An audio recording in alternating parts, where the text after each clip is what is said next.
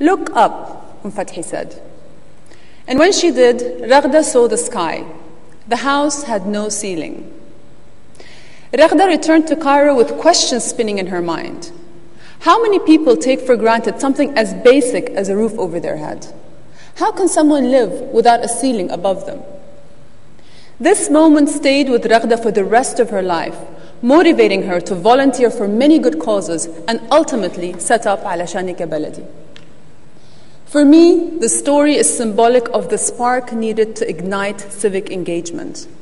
It's an allegory teaching us that civic engagement is about looking outside the four walls of your life, about looking up and seeing you have no ceiling above you, that you have no limits.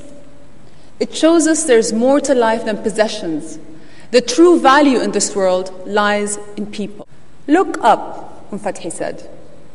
And when she did, Raghda saw the sky. The house had no ceiling. Raghda returned to Cairo with questions spinning in her mind. How many people take for granted something as basic as a roof over their head? How can someone live without a ceiling above them? This moment stayed with Raghda for the rest of her life, motivating her to volunteer for many good causes and ultimately set up Alashanek ya Balady. For me, the story is symbolic of the spark needed to ignite civic engagement. It's an allegory teaching us that civic engagement is about looking outside the four walls of your life, about looking up and seeing you have no ceiling above you, that you have no limits.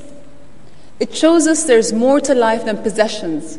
The true value in this world lies in people.